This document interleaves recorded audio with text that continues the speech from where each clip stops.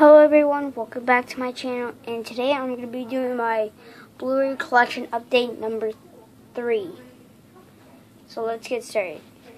Um, so, Cars, Big Hero 6, Dr. No, Thunderball,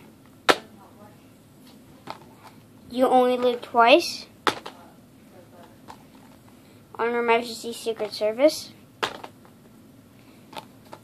Diamonds Are Forever. The Man with the Golden Gun. The Spy Who Loved Me. Moonraker. The Living Daylights. The World Is Not Enough. Skyfall, Spectre, the Back to the Future trilogy on Steelbook, Indiana Jones and the Raiders of the Lost Ark on Steelbook, Batman on Steelbook, Batman on regular on regular Blu-ray the first three Pokemon movies on Steelbook. Home Alone 1 and Home Alone 2, Lost in New York.